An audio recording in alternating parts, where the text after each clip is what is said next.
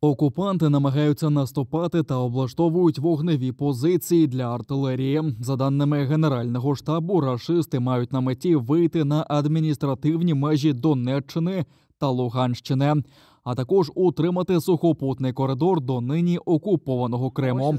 Для цього перекидають зброю уже із центральних та східних регіонів Ерефії.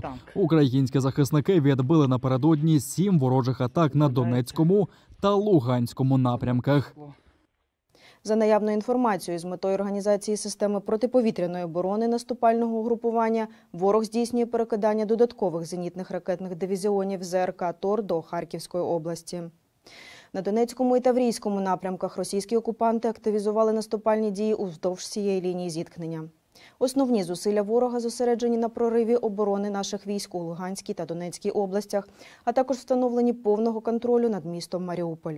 На півдні нашої країни окупанти намагаються вийти на адміністративні межі Херсонської області, укотре росіяни зазнають невдачі, намагаючись штурмувати Олександрівку.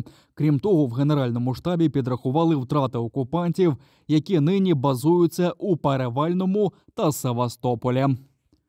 За наявною уточненою інформацією, втрати 126-ї бригади берегової оборони Чорноморського флоту складають до 75%. 810-та окрема бригада морської піхоти Чорноморського флоту втратила 158 військовослужбовців вбитими, близько 500 пораненими, а 70 осіб вважаються зниклими безвісти. Значна частина військовослужбовців зазначених бригад написала рапорти на відмову від участі у так званій спеціальній операції.